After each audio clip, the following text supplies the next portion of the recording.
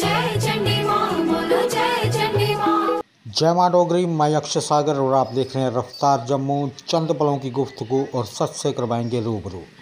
रफ्तार जम्मू के माध्यम से इस समय हम जम्मू के आंवला क्षेत्र में मौजूद हैं और आप देखिए आंफला क्षेत्र में बेहतरीन सजावट की गई है। आखिरकार क्यों सजाया गया ये आंफला क्षेत्र?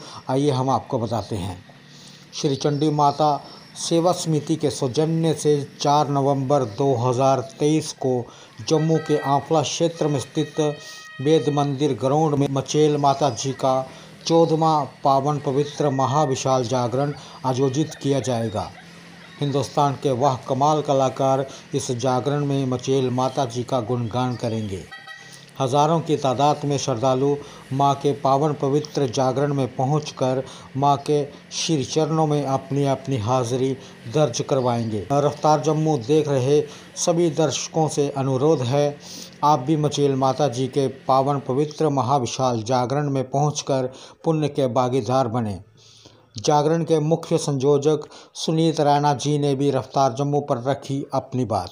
सुनीत राणा जी जो ये जागरण होने जा रहा है चार नवंबर 2023 को उस बारे में कुछ बोलें।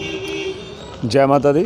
मैं समस्त चंडी माता के जितने भी भक्त और जम्मू कश्मीर के अंदर आप सबको पता है जम्मू मंदिरों का शहर है।